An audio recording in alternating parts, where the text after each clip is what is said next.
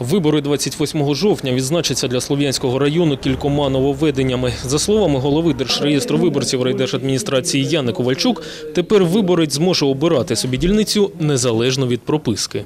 Для этого он должен обратиться к нам в отдел или в отдел другой, в котором он будет находиться на день голосования, с заявлении он должен обосновать, почему он меняет избирательный адрес. Ему выдается посвящение. Удостоверение – это одноразовое, его будут забирать на избирательной, избирательной комиссии на избирательном участке в день выборов. Також у районі скоротилася кількість дільниць з 32 до 30. Троїцьке об'єднали з Олександрівкою, а Селезнівку – з Карпівкою. Чиновники вже перевірили урни для голосувань. Наразі проблемним залишається встановлення камер відеоспостереження. Це питання узгодять із Укртелекомом. І ще про одну інновацію. Якщо раніше запрошення друкувала типографія, а заповнювала їх на місцях, то тепер їх виготовлятимуть централізовано.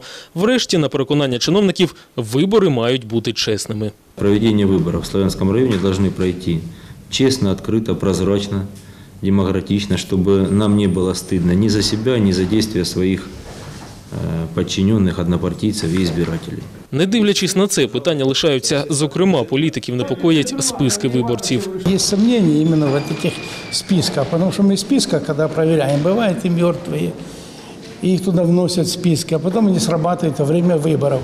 И вот это с одних, с одних явных технологий фальсификации. Представники опозиції вже повідомляють про факти незаконних вимог ксерокопій паспортів. Також їм не зрозуміло, чому розташування наметів для агітації слід узгоджувати з сільськими та селищними головами. Приходим мы к э, руководителю сельсовета Энному, да, он говорит, ребята, значит, ні, я вам тут не узгоджую, от підіть за той посадкою поставте. Районні чиновники обіцяють у всьому розібратися.